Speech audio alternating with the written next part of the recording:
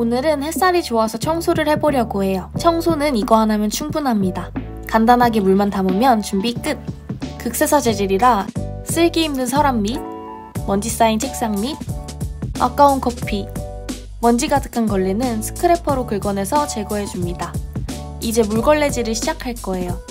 칙칙 가볍게 뿌리고 닦으면 엄청 말끔하게 닦이고 닦기 힘든 부분도 깔끔하게 닦여요. 더러운 유리도 이렇게 쉽게 청소할 수 있어요. 걸레는 분리 없이 이렇게 촥 짜주면 세척과 탈수가 한 번에 된답니다. 에코오레시 밀대 걸레와 함께한 아주 쉬운 집 청소 오픈 특가에 구매하고 저랑 함께해요.